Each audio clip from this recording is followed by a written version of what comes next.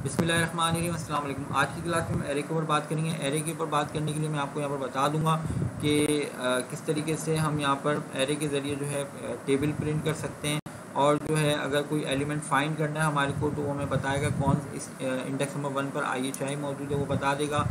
कोई हमें ऐड करना हो एलिमेंट को, वो ऐड करना बताएगा रिमूव करना हो तो रिमूव हो जाएगा स्प्लाइस करना हो तो स्प्लाइस जो है वो मैं आप लोगों को बताऊँगा स्प्लाइस क्या चीज़ होती है। तो ये है हमारी टोटल आज की क्लास तो शुरू करते हैं हम आज का लेक्चर आज हम बात करेंगे एरे के ऊपर और एरे के ऊपर बात करने से पहले ये आप देख लीजिए हमारा ओल्ड टॉपिक है। हमने देखा था कि A is equal to one two three अगर मैं करता हूँ तो इसका मतलब क्या होता है? मेमोरी के अंदर एक जगह एलोकेट हो जाएगी और उसके अंदर वन टू थ्री स्टोर होगा। जब भी हमें ए की वैल्यू रिप्लेस करनी हो, जब भी ए की वैल्यू हमें कॉल करनी हो तो हम यहाँ पर इस तरीके से A is equal to A B C D या A is equal to X Y Z हम स्टोर कर सकते हैं, ठीक है? जैसे ही डेटा टाइप होगी, वैसे ही ए की शक्ल हो जाएगी और अपने अंदर वो वैल्यू को स्टोर कर देगा। बिल्कुल इसी तरीके से यहाँ पर हम इस तरीके से जब ये बात हम जब बोलते हैं A is equal to curly bracket बड़े ब्रैकेट में तो इसका मतलब क्या होता है कि मेमोरी के अंदर कहीं पे भी एक एरे बनाओ, ठीक है, और उसका जो एड्रेस है वो कहाँ पर स्टोर कर दो? इस वेरिएबल के अंदर जो लेफ़्ट साइड पर जो भी नाम लिखा होगा ए लिखा है तो ए बी लिखा है तो बी के अंदर स्टोर कर देगा इसका एड्रेस अब इसके अंदर कोई भी हम एलिमेंट बढ़ाना हो, ठीक है, वो बढ़ सकता है रिमूव करना है रिमूव हो सकता है रिप्लेस करना है रिप्लेस हो सकता है वो सब किस तरीके से होगा वो मैं आप लोगों को यहाँ पर बताऊँगा। यहाँ पर मैंने एक रिएक्ट के हवाले से एक एग्ज़ाम्पल आपको दी हुई है।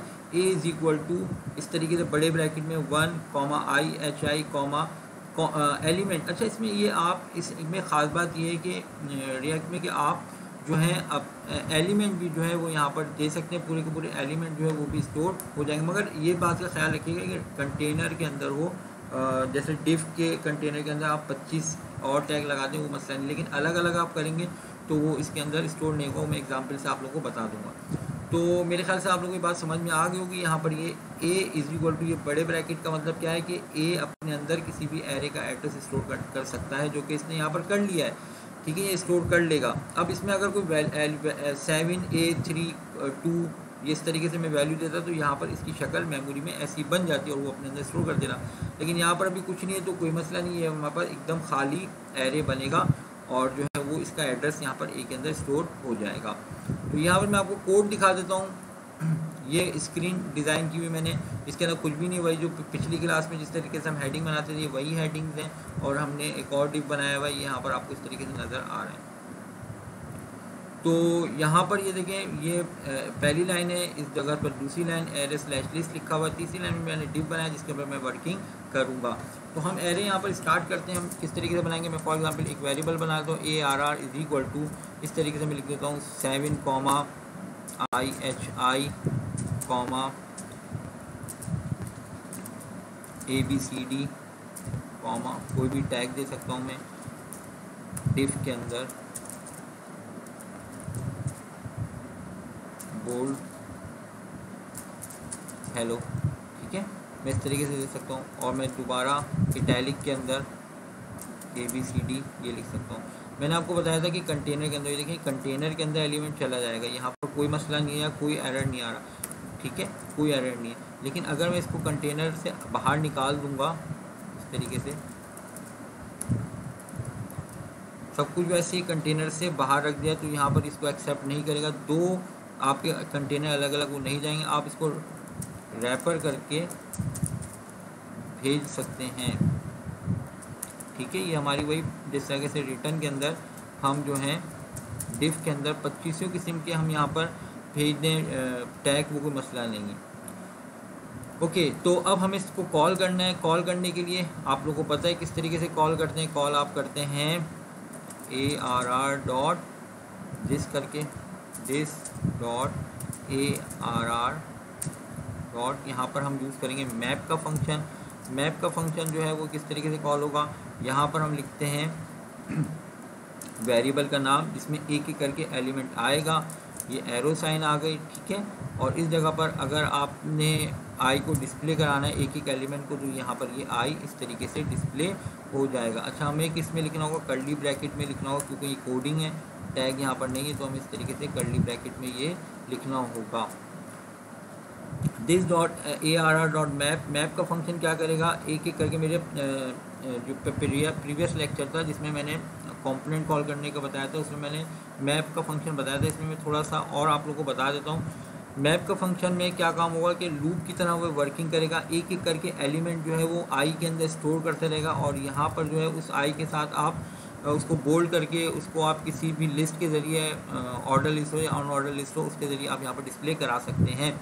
तो यहाँ पर मैं कंट्रोल एस करूँगा तो मुझे जो एलिमेंट है वो यहाँ पर मिलना, मिल जाएँगे इस जगह पर। ये देखें seven I H I A B C D hello A B C D इस तरीके से मुझे मिल गए हैं। अगर मैं यहाँ पर इसको बोल्ड के अंदर लिखूँगा तो मुझे ज़ाहिर सी बात है, जब ये बोल्ड में करूँगा तो यहाँ से ये कोडिंग हट गई है। तो अब मुझे आई को इस तरीके से लिखना होगा। मुझे कर्ली ब्रैकेट में लिखना होगा। अब मैं आई लिखूँगा कंट्रोल एस करूँगा।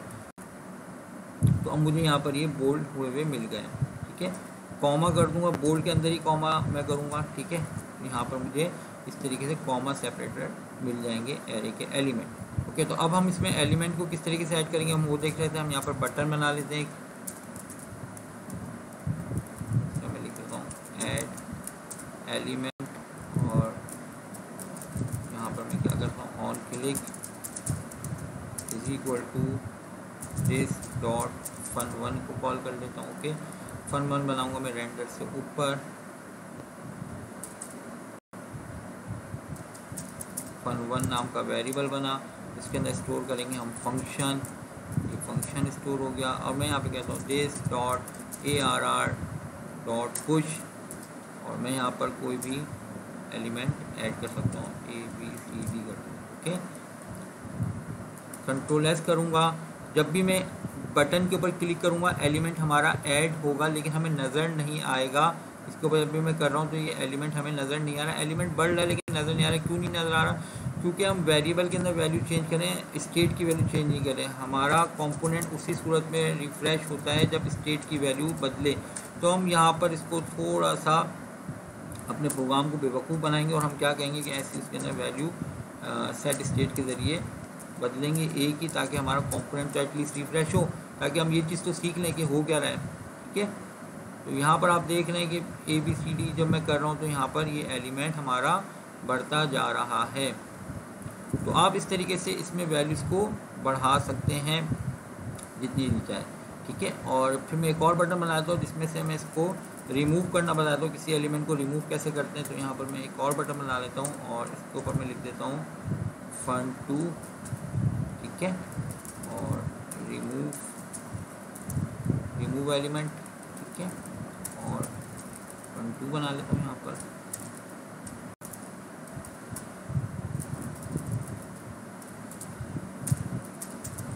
स्लाइस के फ़ंक्शन के ज़रिए हम अच्छा इसमें एक स्लाइस होता है, एक स्प्लाइस होता है, ठीक है? स्लाइस का फ़ंक्शन यूज़ करिएगा। स्लाइस जो थी वो मैं आपको अभी बता दूँगा अभी ना, इस स्लाइस का यहाँ पर मैं इसको बताऊँगा कि कौन, कितने स्टार्ट स्टार्ट का जो एलिमेंट नंबर कितना है, उसको आपने रिमूव करना है। अगर मैं यहाँ पर वन करूँगा तो स्टार्ट से वन डिलीट यहाँ पर ये इंडेक्स नंबर नहीं दे रहा हूँ, याद रखिएगा।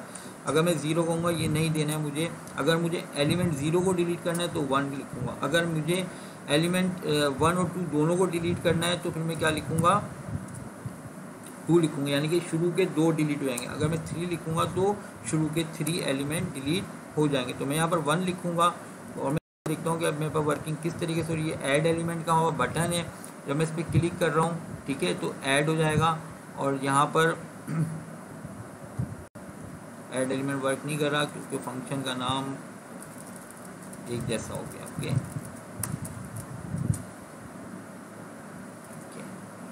ऐड एलिमेंट पे किया तो यहाँ पर ये वैल्यू बढ़ ली है। अब मैं इस पर रिमूव एलिमेंट पे क्लिक करूँगा तो क्या होगा? सेवन रिमूव हो जाएगा। ठीक है? सेवन रिमूव क्यों नहीं हो रहा है भाई?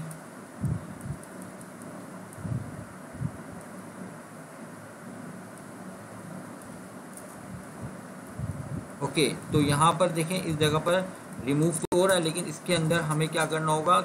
ए आर आर के अंदर वो, क्योंकि ये ए आर स्लाइस जो है रिमूव करने के बाद फिर वो एरे का एड्रेस जो नया एरे बना होगा उसका एड्रेस हमें रिटर्न करता है। हमारे पास तो वही पुराना एड्रेस होता है तो इस वजह से हमारे पास वही पुरानी वैल्यूज़ आ रही हैं। तो हम इस तरीके से लिखेंगे तो इसका मतलब क्या होगा कि जो वैल्यू जो रिमूव हुई है, पहले इंडेक्स की, वो इसके अंदर आ जाएगी, नया एरे बनकर। ठीक है? ये सेवन डिलीट होगा। कंट्रोल एस ठीक है? यहाँ पर देखिए वन रिमूव हो रहा है और कंट्रोल एस नहीं किया था, इस वजह से ऐसा आ रहा था। ठीक है, यहाँ पर ये इस तरीके से वैल्यू बढ़ती रहेगी। मैं जितनी चाहूँ वैल्यू बढ़ा दूँ, ठीक है? और ये रिमूव होगी। मैं एफ़ फाइव से दोबारा रिफ्रेश कर लेता हूँ। सेवन लिखा हुआ है ऐड एलिमेंट जो है वो बढ़ाता रहेगा, ठीक है? और रिमूव एलिमेंट क्या करेगा? ये कम करता रहेगा। अब हम बात कर लेते हैं अब हम बात कर लेते हैं स्प्लाइस के ऊपर और इसमें क्या होगा कि मैं एक और बटन बना लेता हूँ यहाँ पर जल्दी से कंट्रोल और यहाँ पर क्या लेते हैं स्प्लाइस ठीक है स्प्लाइस और फ़ंक्शन कौन सा होगा? फ़ंक्शन थ्री इसी को मैंने कॉल कर लेता हूँ control C control V function three इसका नाम दे देता हूँ और यहाँ पर स्लाइस की जगह कर दूँगा स्प्लाइस स्प्लाइस में दो आर्गूमेंट जाते हैं, जैसे मैंने कहा टू कॉमर थ्री ठीक है? तो टू कॉमर थ्री का मतलब क्या है कि यहाँ से ज़ीरो वन टू, ये एलिमेंट टू है ना? ठीक है? ज़ीरो वन टू, इस एलिमेंट से उठाओ, कितने एलिमेंट और तीन एलिमेंट और उठा लो। For example three comma five comma six comma seven comma nine eight कर दो ठीक है? तो यहाँ से उठाएगा किसको? ए बी सी डी को उठाएगा थ्री को उठाएगा, दो एलिमेंट हो गए और तीसरा element five A B C D three five ये उठाएगा, ठीक है? और वो जो है स्प्लाइस कर कर ए आर आर के अंदर दोबारा स्टोर कर देगा, नया एरे बनाकर, और वो हम यहाँ पर इसको इस जगह पर डिस्प्ले करा सकते हैं।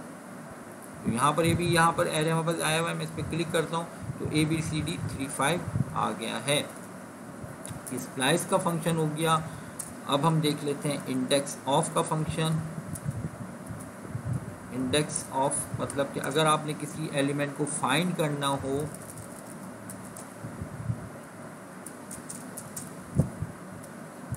ओके किसी एलिमेंट को फाइंड करना हो तो मैं यहाँ पर कहता हूँ कि मुझे फ़ंक्शन फोर चाहिए। और इस जगह पर मैं कहता हूँ कि फ़ंक्शन फोर कंट्रोल वी के और मैं यहाँ पे कहता हूँ आई एच आई मुझे बताओ किस इंडेक्स पर मौजूद है के यहाँ पर मैं आई एच आई लिख देता हूँ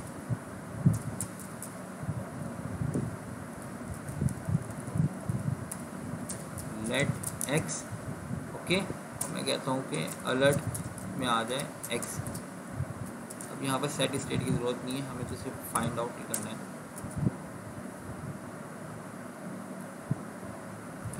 गलत कर दिया।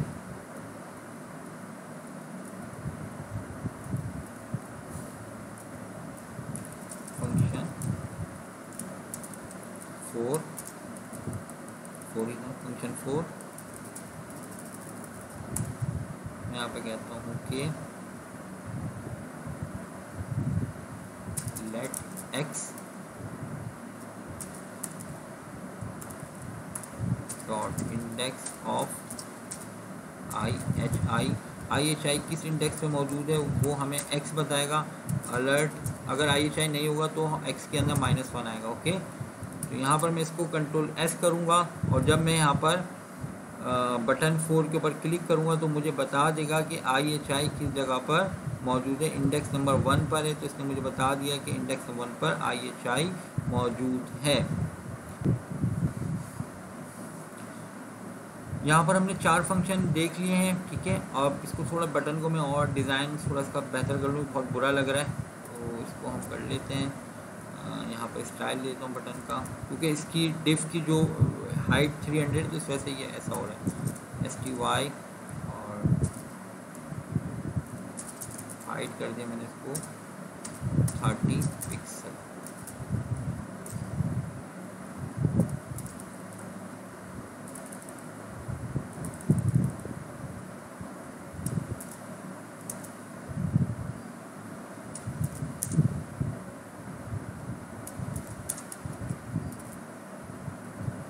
पिक्सल हाइट जो है वो थर्टी पिक्सल हो गई है। रिमूव स्प्लाइस ठीक है? और ये फाइंड माइनस वन आ गया क्योंकि आई एच आई इसमें मौजूद नहीं है। ओके ओके अब हम थोड़ा एक प्रोग्राम बनाएँगे जिसमें जो भी नंबर इनपुट हो टेक्स्ट बॉक्स में जो भी नंबर इनपुट हो, उसका टेबल जो है वो यहाँ पर नज़र आ जाए। सही हमारे को ये प्रोग्राम बनाना है। इसकी जो हाइट हंड्रेड थोड़ा कम करना थोड़ी बेहतर लगे। ये वाला जो डिफ वाला स्टाइल था जो मैंने बनाया था, मैं इसको अगेन लिख रहा ताकि हम इसी के अंदर पूरा प्रोग्राम बनाएँगे। कंट्रोल भी कर देता हूँ। बेहतर हुआ। ठीक है। और यहाँ पर मैं कह देता हूँ इसके अंदर? Text box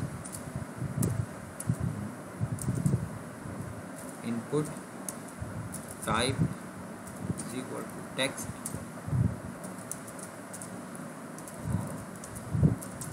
change.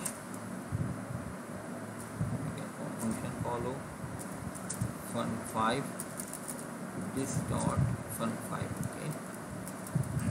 Placeholder में देता हूँ इसको? एंटर टेबल नंबर प्रोग्रेस करके देख लेते हैं कि शक्ल ये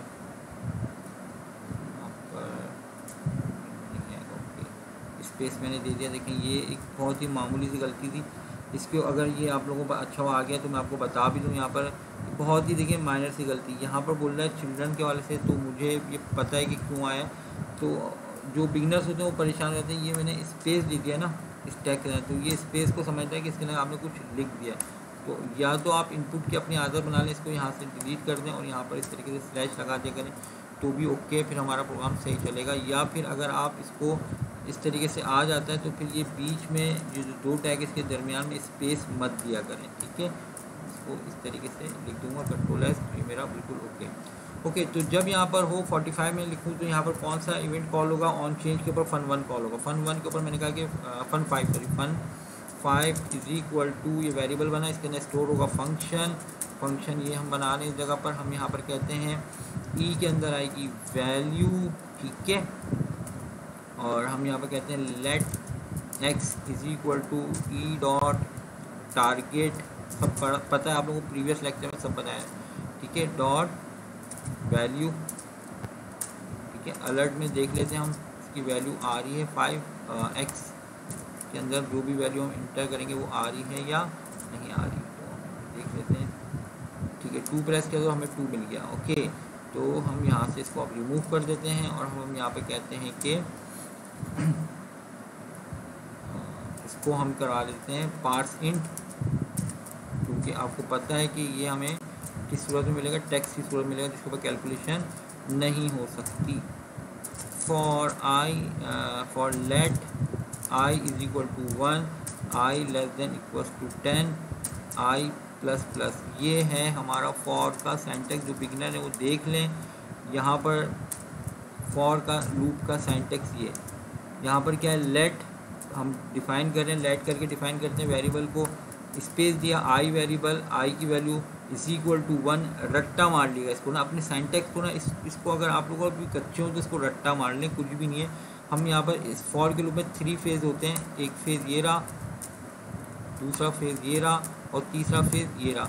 यानी कि पूरा का पूरा फॉर का जो लूप है वो इन एक, दो, तीन के अंदर चल रहा होता है, ठीक है? पहली वैल्यू, पहली होती है असाइनमेंट होती है यहाँ पर वेरिएबल में कोई भी वैल्यू आप असाइन कर दें।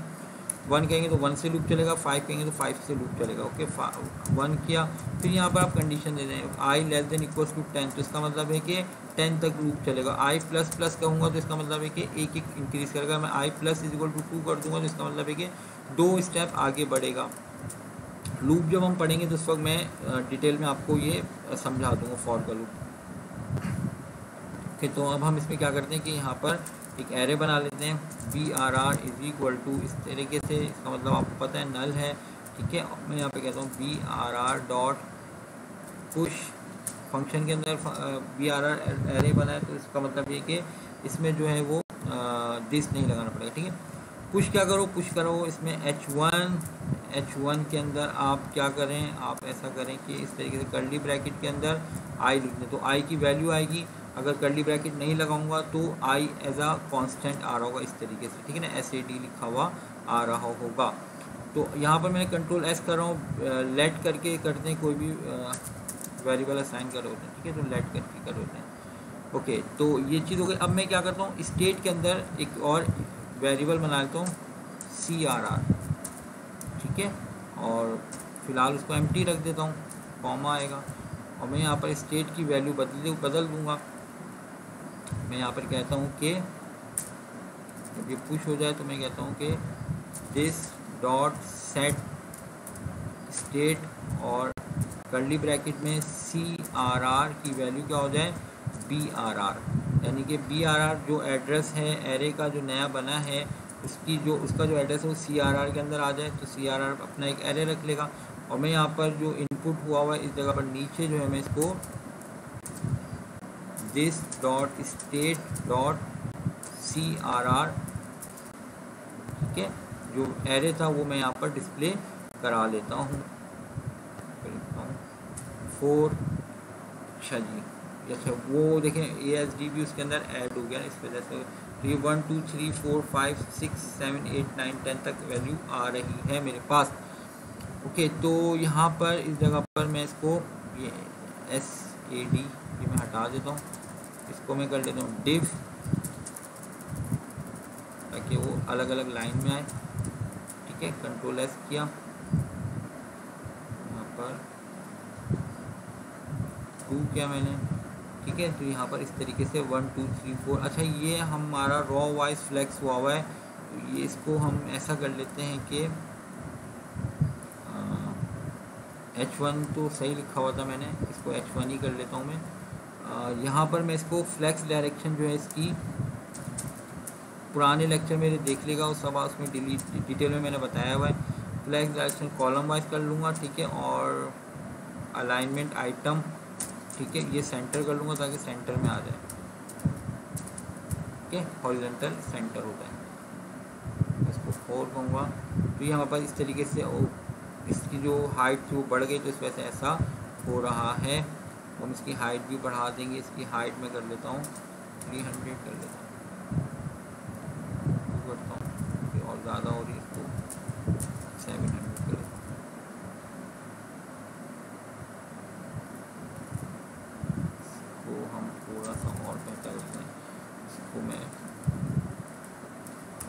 डिव ही कर लेता हूँ। थोड़ा बेहतर नज़र आ जाए।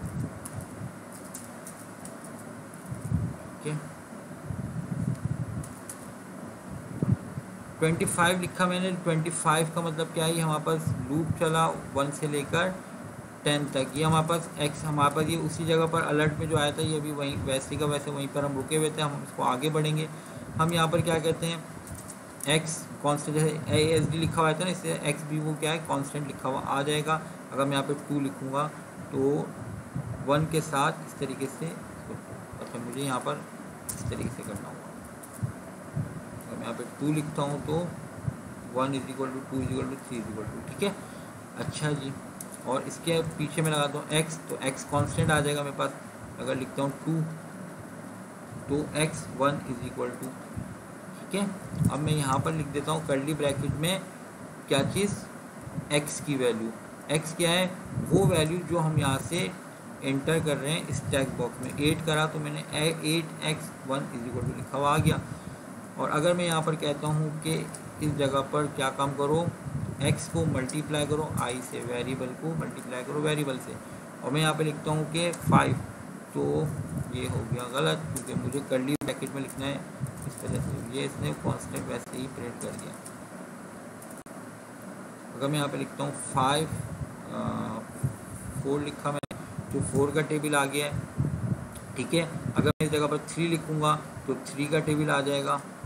अगर मैं यहाँ पर, जैसे मैं चेंज हो रही वैल्यू नाइन लिखूँगा तो नाइन का टेबल आ गया है। ओके तो ये थी हमारी आज की टोटल क्लास और उम्मीद है कि चीज़ आप लोगों को समझ में आ गई होगी। और इसकी आप लोग अलाइनमेंट करके सही करना चाहें तो आप लोग कर लिएगा। और बस आज तक के लिए इतना ही। कल इन ताला मैं आपको टू डायमेंशनल एरे जो है थ्री डायमेंशनल एरे जो है, उसके बारे में बताऊँगा। और आज तक के लिए इतना ही। खुदा हाफिज़।